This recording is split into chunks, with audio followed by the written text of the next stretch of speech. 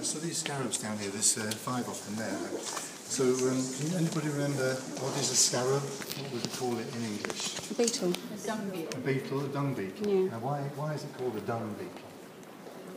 It eats it. Oh, because it ate the dung. Lives yeah. in dung. It lives in dung. It lives in dung. puts its It eggs in puts dung. its eggs Oh, in sorry, dung. sorry. Correct. And it mostly lives in dung all the time. Lovely life.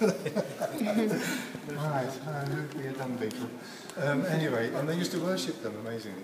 But anyway, the dung beetle would be putting its eggs in dung and rolling it. And act- interesting, it was only the man, only the male scarab, that would roll the ball with the babies in. Female was no nowhere to be seen. Some of the species.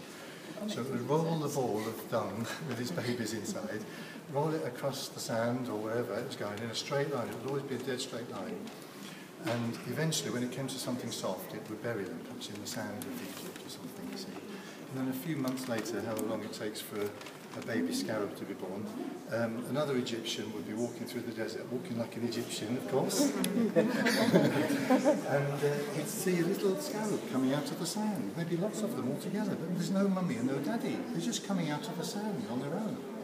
So the word for scarab in, in Egyptian is Khepri, K-H-E-P-R-I, Khepri, which means self-produced life. So they thought that the life produced itself.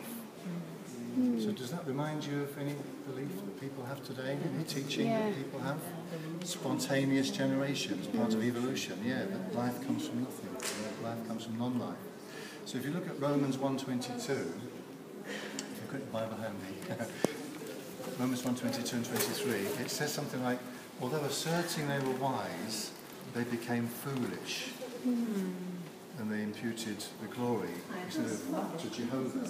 They imputed it to uh, animals and four-footed creatures and creeping things, just like the dumb people. Hmm. So isn't that today?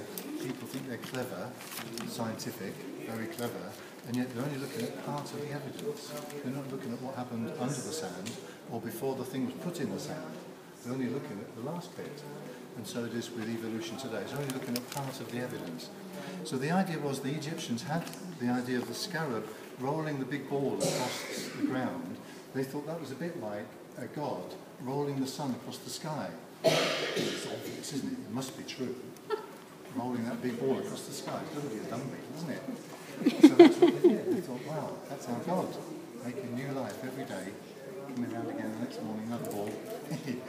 So that was their, one of their main gods that they.